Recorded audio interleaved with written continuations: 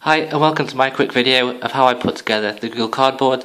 Now I know Google have released a little info infomercial on their website where they just scroll through it and it shows you how to put together.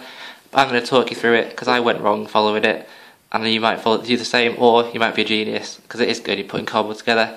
But I thought why not, it might help a few people. So first thing first, after you've torn it out the cardboard box it comes in, you can discard this and that's probably the most satisfying part because it's so simple for just cardboard but what, what you get inside is quite cool. So you start on this side, you're going to fold that across, then you're going to fold the whole of the eye section across and you're going to tear that bit up so it's like that because this bit here that splits your vision into two halves to make it in effect virtual reality.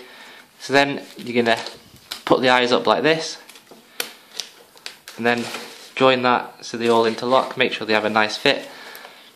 Then you're going to fold it over again like that. So it's basically just folding across. and folding across again, and I found it easier for this way to make sure it goes into the top to bring it on its side. And then, as you can see, it's pretty much done. And then you just peel the sticky tape off there, which I've already done because I went wrong. And then you're going to stick it together like that. And there it is finished.